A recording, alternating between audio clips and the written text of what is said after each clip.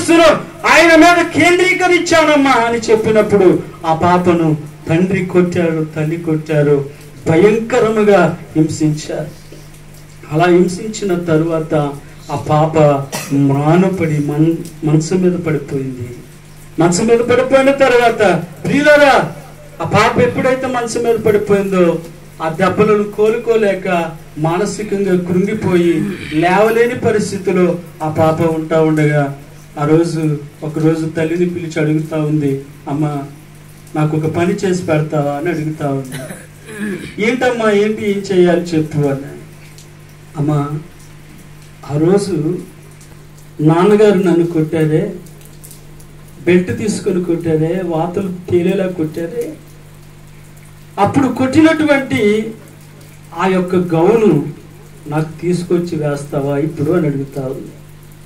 అప్పుడు ఆ తల్లిగారు అంటున్నారు కదా ఇప్పుడు ఎందుకే ఆ గౌను నువ్వు చూడలేవు.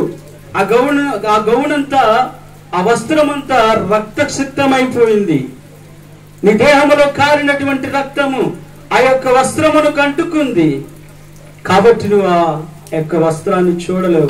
ఇప్పుడు వద్దు అన్నాడు. అయితే ఆ పిల్ల ఆ పాప అంటా ఉంది అమ్మ ఒక్కసారి తీసుకురా ప్లీజ్ నేను వేసుకుంటాను. ఎందుకు అంత బలవంత పెడుతున్నావు? ఎందుకు నన్ను విసిగిస్తున్నావు? అని ఆ పాప అడిగినప్పుడు ఆ పాప చెబుతా ఉంది అమ్మా రాత్రి నా కల్లో దేవదూతలు వచ్చారు.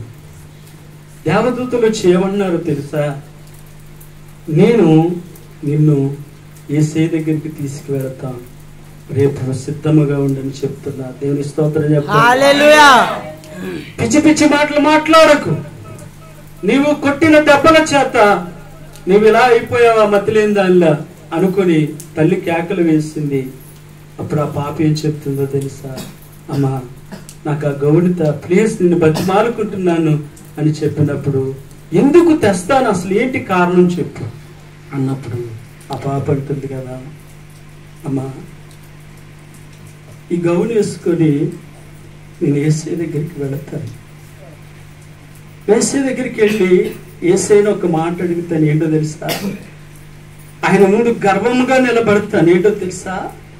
అయ్యా నా కోసం నువ్వే కాదయ్యా నువ్వే కాదు. నేను కూడా రక్తం కార్చానయ్యా ఇదిగో చూడు నా రక్తం.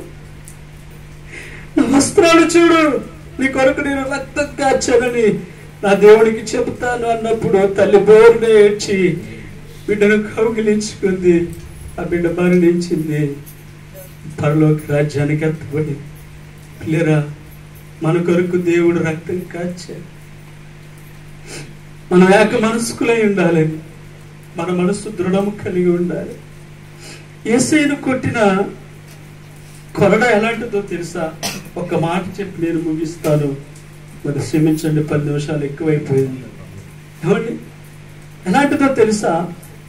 ఏసైను కొట్టిన కొరడ ఎలాంటిదో తెలుసా? ఆ కొరడ ఒంటి చర్మముతో చేయబడింది. ఆ చర్మము ఆ కొరడ యొక్క చివర భాగమున గాలపు ముళ్ళులు అమర్చబడ్డాయి. ఆ గాల ఆ కొరడ చివరి భాగమున గాజు ముక్కలు చుట్టబడ్డాయి.